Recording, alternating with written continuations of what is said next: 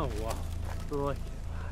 That is magnificent. I mean, I mean, it's taken us a hell of a journey to get here, but that makes it all worth it. I'm standing on the edge of an active volcano, right next to a big pool of molten lava.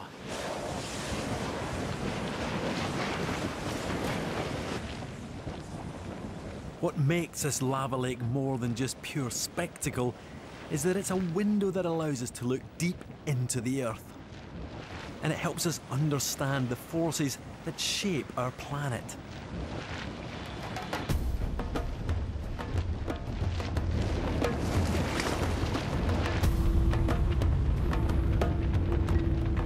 Just take a look at the motion of the lava lake speeded up.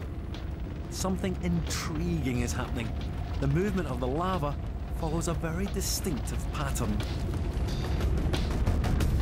It wells up on one side of the crater, forms a dark crust as it cools. Then this crust moves across the surface of the lake, driven by the churning action of the lava below.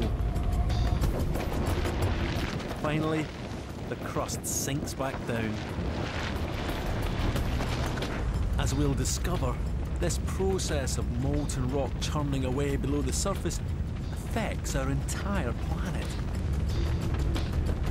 That's because this lava lake is connected to a gigantic source of heat that lies deep inside the Earth. I think it's fair to say that most of us go about our daily lives completely unaware that underneath our feet, our planet is incredibly hot.